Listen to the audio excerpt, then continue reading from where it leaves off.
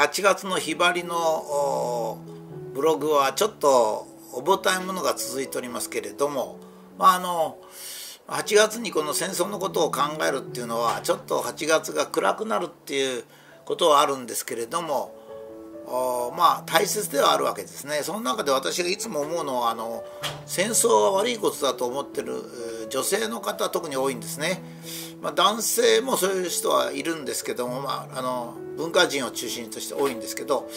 え女性はほとんどですね戦争は悪いことだと思ってるわけですね。これはまあ一つは、え戦後アメリカのま宣伝によってそう思ったってことがあるんですが、もやっぱり戦争がかなり昔のことになってですね、えー、男性が命を捨てて女性を守ったということを、まあ、忘れてるわけですね。なんか男性があの好きで戦争したと、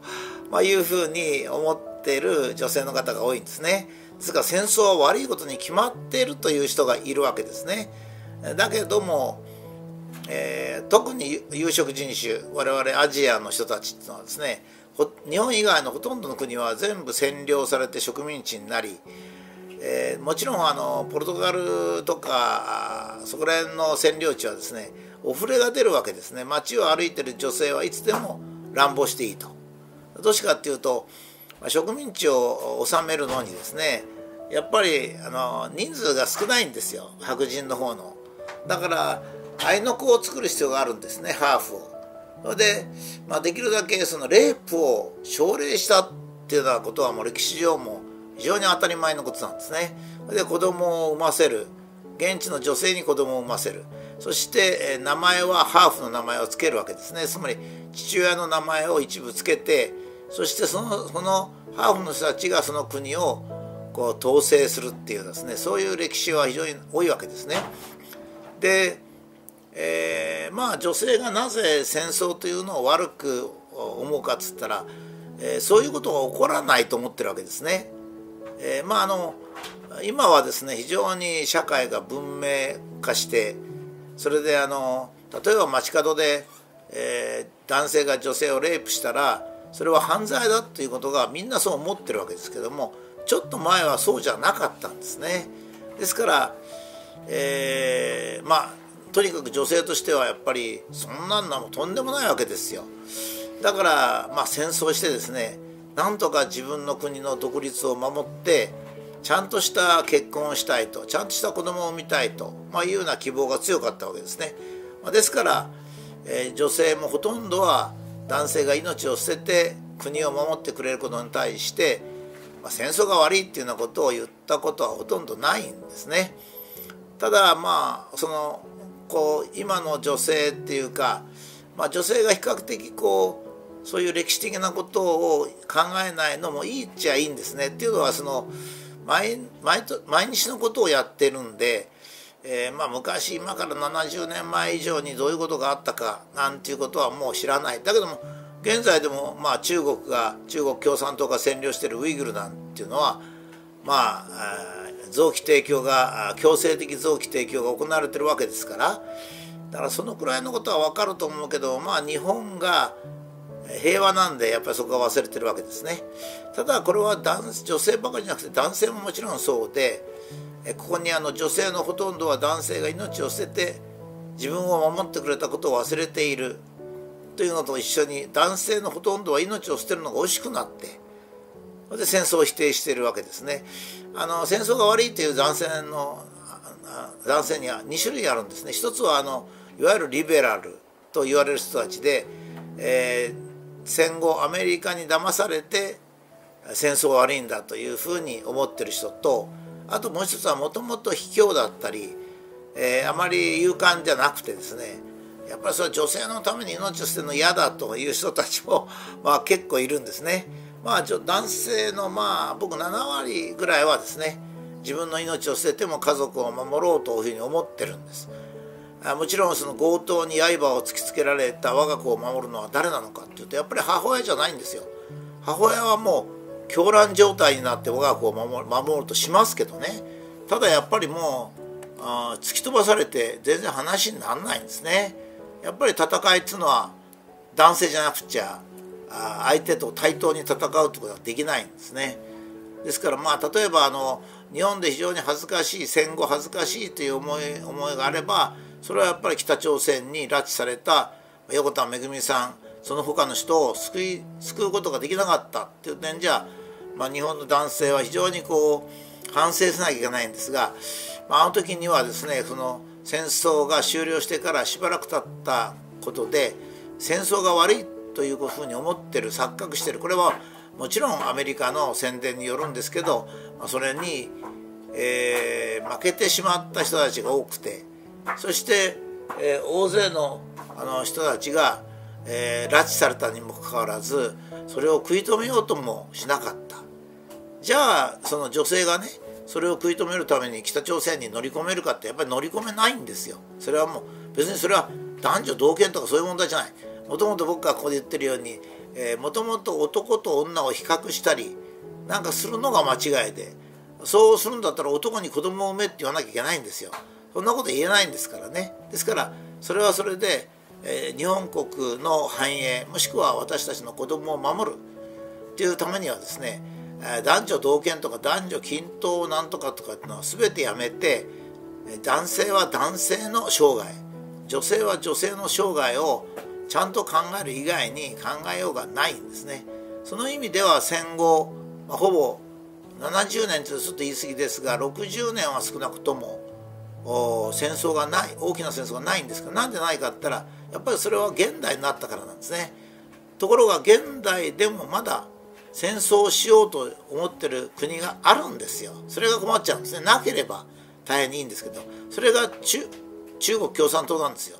お隣にいる中国共産党。もちろんあの北朝鮮もそうだってことは皆さんも分かると思うんですけど中国共産党がそうなんですね。ですから中国共産党がいなければですよ。まずは戦争ってないでしょうね。だけど中国共産党がいる限りは中国共産党は日本の一部を取る可能性があるんですよ。例えば長崎県とか、まあ、そういうところを取る可能性があるんですね軍事で。あもちろん沖縄を取ってくるでしょうね。そしたら中国共産党取った中国共産党がですね、